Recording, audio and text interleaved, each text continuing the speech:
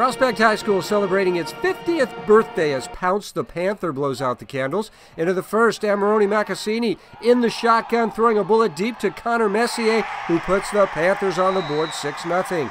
Andrew Hill fights back. Zeke Jasso scrambling in the backfield and throws it to Ricky Quinonez, who brings it inside the 20 yard line before he's finally brought down. Later in the drive, Jasso with the quarterback keeper. Zeke slides to the right and finds an open lane all the way into the end zone for the Andrew Hill touchdown.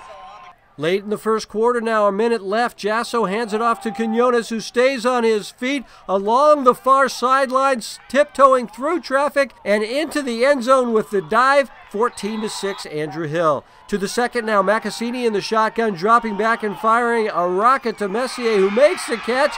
Two point conversion good. We're tied at 14 all. Seconds left in the half. Jasso takes this one himself, finding a hole in the D and bringing it just short of the end zone. The Falcons later score on a short TD run, and it's 21 14. Andrew Hill into the lead. Same score in the fourth quarter. Prospect looking for the equalizer, but look at this as the ball is tipped and then picked off by Ben Hoang. Big Ben with a huge play for the Falcons as Andrew Hill adds another touchdown and takes the 28 14 win to remain undefeated in the West Valley League.